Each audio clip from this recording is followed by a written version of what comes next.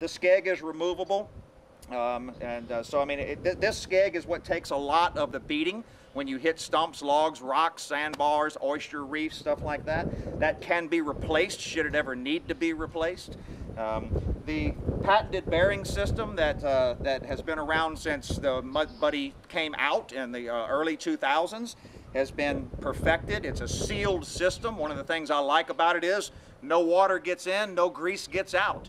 Basically, this fitting right here is simply to check your grease level about once every 50 hours. I mean, it's a low, low maintenance on this particular drive system.